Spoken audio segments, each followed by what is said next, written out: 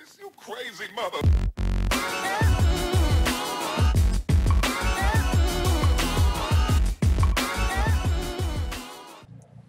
Welcome to the second time I have ever messed with these uh, pan pastels.